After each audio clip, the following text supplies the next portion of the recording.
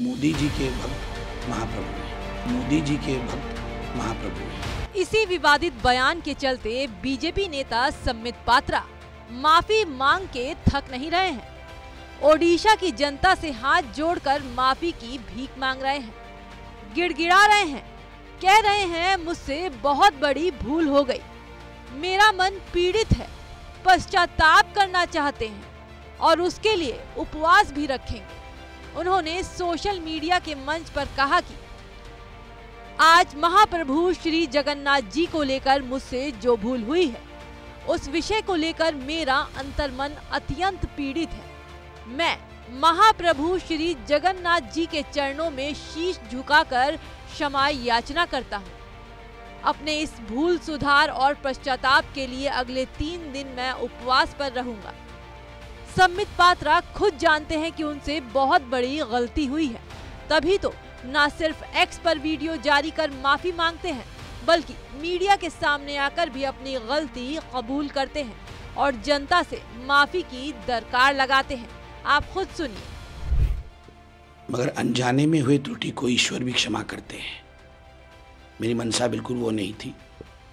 मगर फिर भी, चूँकि महाप्रभु हम सब उड़िया वासियों के लिए और केवल उड़ीसा के लिए नहीं, मैं तो खुद उनका भक्त हूँ पूरे भारतवर्ष और विश्व के लिए वो सबसे बड़े देवता हैं।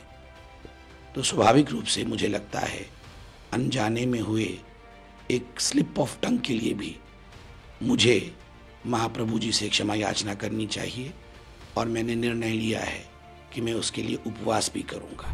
माफीनामा तो आपने सम्मित पात्रा का सुन लिया। अब जरा पूरा मामला समझ लीजिए कि बीच चुनाव उन्हें जनता से यूँ क्षमा याचना क्यों मांगनी पड़ रही है? ये तो इसकी वजह उनका विवादित बयान है। दरअसल सोमवार को पीएम मोदी की भव्य रैली के बाद एक लोकल चैनल को दिए इंटरव्यू के दौरान सम्मित पात्रा के मुँह से ये निकल गया कि भगवान जगन्नाथ पीएम मोदी के भक्त हैं। शेष में जब एक चैनल ने बाइट लिया, बहुत भीड़ थी, उस समय बहुत धूप भी थी, गर्मी भी थी। बहुत शोरगुल भी था। अनजाने में बाइट देते समय मैंने उसका उल्टा कह दिया कि मोदी जी के भक्त महाप्रभु हैं।